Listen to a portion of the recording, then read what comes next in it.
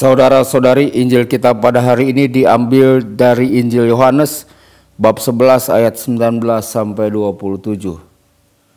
Di situ banyak orang Yahudi telah datang kepada Marta dan Maria untuk menghibur mereka berhubung dengan kematian saudaranya.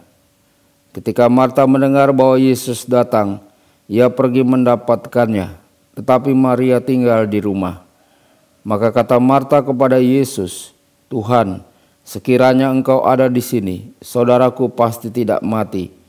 Tetapi sekarang pun aku tahu bahwa Allah akan memberikan kepadamu segala sesuatu yang kau minta kepadanya. Kata Yesus kepada Marta, saudaramu akan bangkit. Kata Marta kepadanya, aku tahu bahwa ia akan bangkit pada waktu orang-orang bangkit pada akhir zaman. Jawab Yesus, akulah kebangkitan dan hidup. Barang siapa percaya kepadaku, ia akan hidup walaupun ia sudah mati. Dan setiap orang yang hidup dan yang percaya kepadaku tidak akan mati selama-lamanya. Percayakah engkau akan hal ini? Jawab Marta, Ya Tuhan, aku percaya bahwa engkaulah Mesias anak Allah, dia yang akan datang ke dalam dunia. Demikianlah sabda Tuhan. Terpujilah Kristus.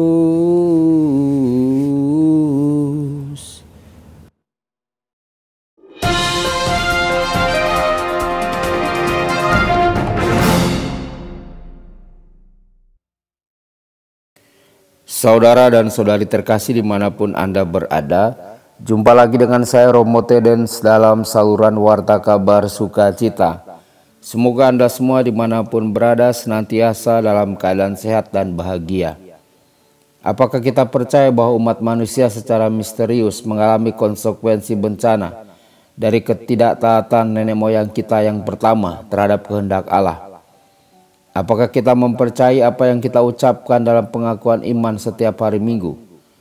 Apakah kita percaya bahwa Yesus dari Nazaret mati dan bangkit dari kematian untuk mengalahkan dosa?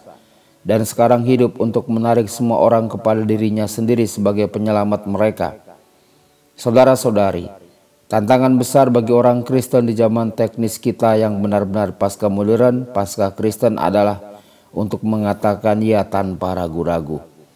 Salah satu tantangan terbesar dalam kehidupan Kristen adalah menjaga iman kita tetap sederhana.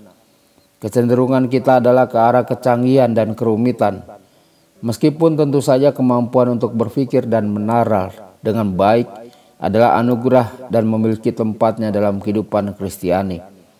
Kita harus sama-sama sadar bahwa kecenderungan bawaan pada rasionalisme dapat menjadi awal dari kehidupan iman yang sejati. Kita tidak boleh jatuh ke dalam kesalahan hari ini yang mencoba mengecilkan Tuhan menurut persepsi kita yang lemah dan sikap egois kita. Kristus lebih dari itu.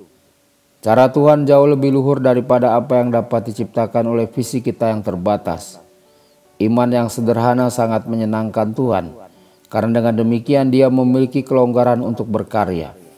Kemudian Tuhan dapat melakukan sesuatu dengan kita dan melalui kita. Saudara-saudari, iman yang sederhana ini dapat dan harus membawa kita ke Tuhan dan keluar dalam tugas membawa kasih Kristus kepada setiap jiwa. Iman kita yang sederhana dapat dengan cepat menyala dan mengubah kita menjadi rasul kerajaan Allah yang tak kenal lelah seperti Santo Paulus. Maka kita perlu menyimak kata-kata Santo Paulus sendiri. Siapakah yang dapat memisahkan kita dari kasih Kristus? Penindasan atau kesesakan atau penganiayaan atau kelaparan atau ketelanjangan atau bahaya atau pedang.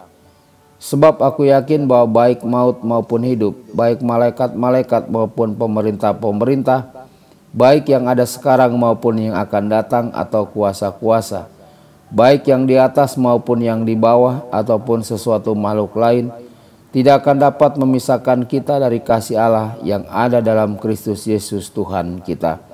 Tuhan Yesus memberkati dan menyertai Anda semua. Sabda Allah adalah kebenaran. Sabda Allah adalah kehidupan. Mari kita mencintainya. Mari kita menghayatinya Ya Tuhan yang ku muliakan. Sabdamu angkat resahku